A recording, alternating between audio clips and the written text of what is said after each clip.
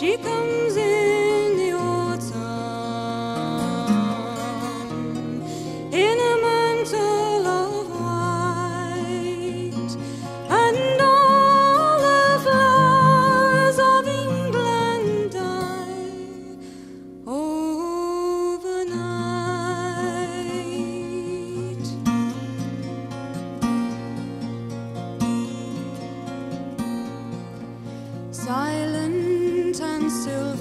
as she moves through the morning, calling the north wind unto her command,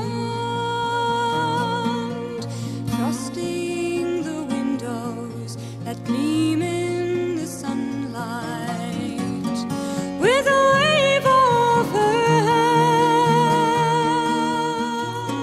hand. She comes from